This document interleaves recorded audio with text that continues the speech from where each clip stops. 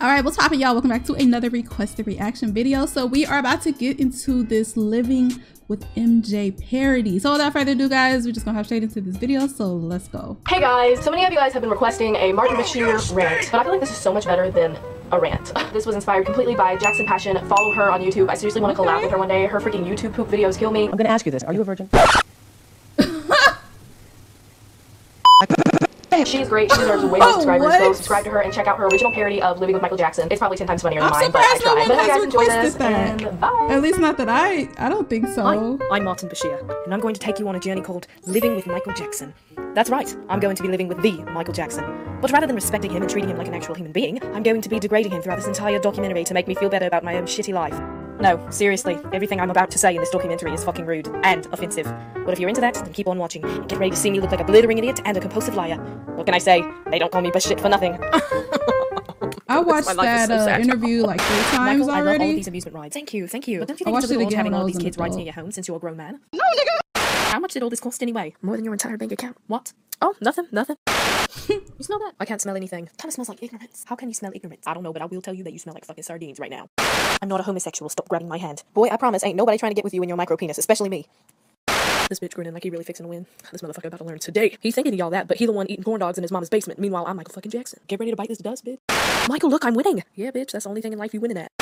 Now, Michael, I have to ask, why do you have so many pictures of yourself in your home? Don't you think that's a little conceited? Well, you see, Martin, since I don't look like an orangutan titty like yourself, I like to put pictures of me looking fine as hell around my house, and bitch, you still smell like sardines. Michael, why are you so embarrassed all the time? Boy, because you are an embarrassment. Michael, what do you call that move? I call it kicking you in the damn face. And there's me driving by myself going to Neverland, but I promise you I'm not lonely. Why do you like Neverland so much? I just don't understand. You're a grown man. Why on earth do you think you're Peter Pan? All right, bitch. What's your damn problem? Did Wendy turn you down or some shit? Well, Michael, it's been really nice talking to you for these past couple of days. I wish I could say this. without saying it. You're honestly The really nice. laugh. So your father would beat you with a belt. Yeah, and I wish I had that belt right now so I could beat the shit out of you. Ask me one more dumbass question. I dare you. Martin, this looks like the type of car you drive. Get it? Because it's a piece of shit. So you had your brothers. They would have sex in the same room as you. Uh, sometimes, but I remember that one time Jermaine brought this bitch in. Oh my goodness. That girl, she took one look at his little PP and she said, nope, I gotta go. It was really that small. well, it wasn't as small as yours, but yeah.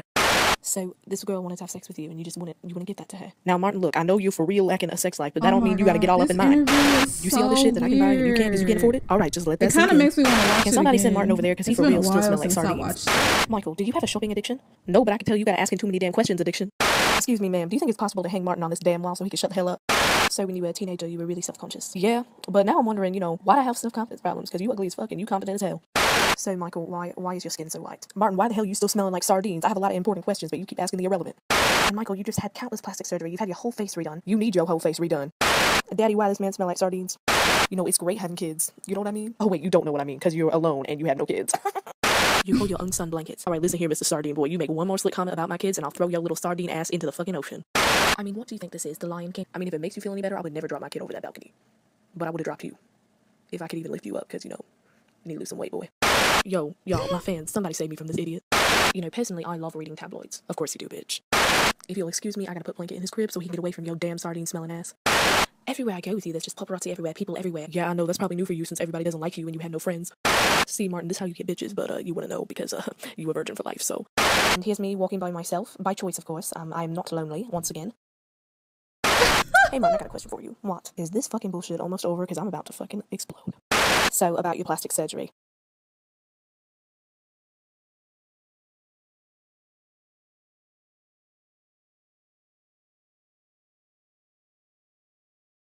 You really think I'm gonna answer your fucking questions? What the fuck is you wanting to know in my What? about? My penis? The fact that my penis is bigger than yours? So are you touching children inappropriately? No, I've never touched a child inappropriately, but I'm telling you, you about to get touched inappropriately, and by that I mean you about to catch these hands. So you sleep in the bed with children? Uh, yeah, I would recommend doing it because I know you probably sleep alone like all the time because no one likes you. Well, I think that wraps up this documentary. All right, bitch, hold up. Let me get this straight. You've been living with me, Michael Jackson, for a whole damn year, and your ass still smells like sardines. Now that I think about it, when I think back on this interview, what was the point? Cause like, what, like honestly, like, what was the point of this whole interview? Cause, um, yeah, he asked nothing. He asked nothing but humiliating questions. He made Michael Jackson seem like weird, you know what I'm saying? Because of his interests and what he got at his house and the things that he liked or whatever.